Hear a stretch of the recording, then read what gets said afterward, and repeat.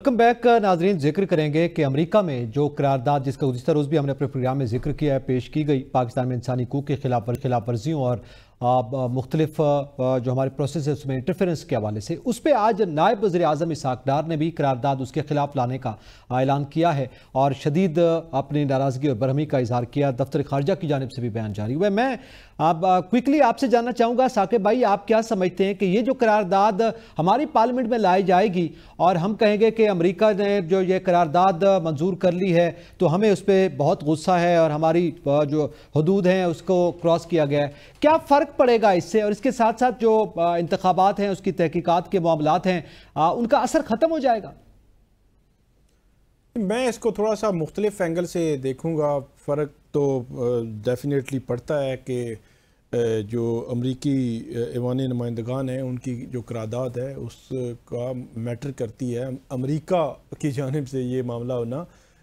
मैं इसको मुख्तलिफ़ एंगल से इस तरह देखूँगा कि 2022 में जब साइफ़र वाला ये मामला आया तो साइफ़र में जो है वो नेशनल सिक्योरिटी कमेटी की मीटिंग्स भी हुई, डिमार्च भी हुआ, इधर भी, इस्लामाबाद से, वाशिंगटन से भी।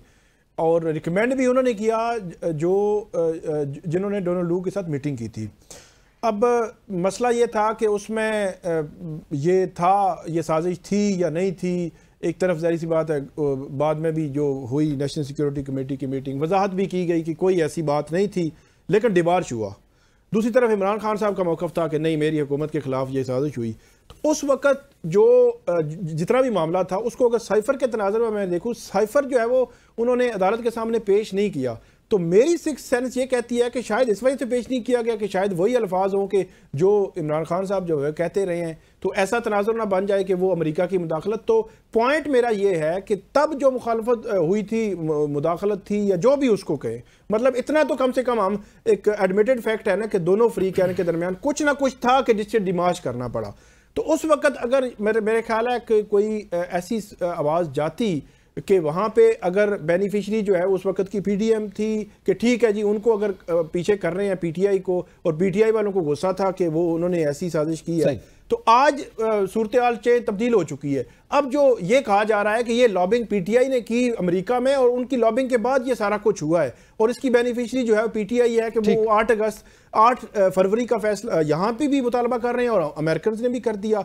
और दूसरी तरफ़ जो है हुकूमत जो है वो अब मुश्किल में है तो दोनों सिनेरियो में दोनों सिनेरियो में जो बेनिफिशरी था वो खुश दूसरे जो है वो मेरा ये ख्याल है कि दोनों सिनेरियो में हमें मुल्क जो है वो मुकदम रखना चाहिए था तब भी अब भी ताकि एक जो है वो यकजहती की आवाज़ जाती और जो मुल्क की जो आज़ादी है हमारी आज़ादी है अंदरूनी जो मुदाखलत है अंदरूनी मुदाखलत ना तब होनी चाहिए किसी सूरत में भी ना आज जो है वो होनी चाहिए। इस पे है आ, ये एक इंटरनल मामला है लेकिन मसला ये है कि फिर आप उसी एंगल से देखेंगे कि ना जिस तरह 2022 में देखा 2022 में आप बेनिफिशरी थे आपने कहा कुछ भी नहीं है उस वक्त तो तारीफें हो रही थी आज अब जो है ठीक है तो आज आप उस पर तरकीब क्यों कर रहे हैं? चले थोड़ा आगे बढ़ते हैं। मैं कमर भाई इसी पे आप ही का पॉइंट ऑफ़ व्यू लेना चाहूँगा। ज़ाहिर है अगर ये करारदाद इस तरह की वहाँ पर आती है और फिर हम उसकी मुखालफत में हम भी अपनी करारदाद लाने का ऐलान कर रहे हैं कि हमारी जो खुद मुख्तारी है उस पर आपने आवाज़ उठाई है तो क्या इससे फ़र्क पड़ने जा रहा है और फिर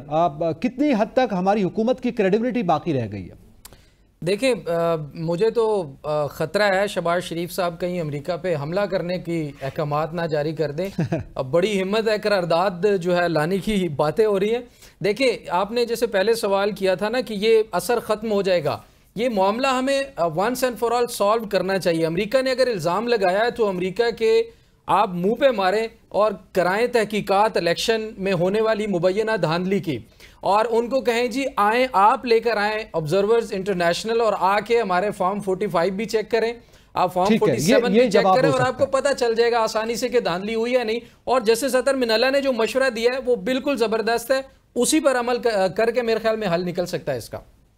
इसी इसी काल मैं, मैं बिल्कुल मेरे पास टाइम बिल्कुल कम है। मैं सलमान आपसे इसी पे ही रिस्पांस चाहूँगा। हम करारदाद के खिलाफ करारदाद लाकर क्या साबित कर रहे हैं?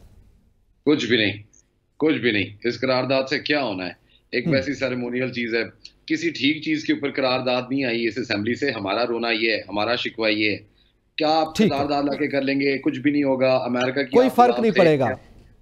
आप ये पॉइंट ऑफ़ व्यू जो है ना आपका आपका ये कमेंट जो है ये एक मुकम्मल जवाब है कि इससे क्या फ़र्क पड़ेगा। यकीनी तौर पर आ, तमाम आ, जो मेरे मौजूद मेहमान उनका पॉइंट ऑफ़ व्यू इस मौजू पे भी आ गया है। मैं आप तमाम पैनलिस्ट का शुक्रिया अदा करता हूँ। इजाज़त दीजिएगा। अल्लाह हाफिज़।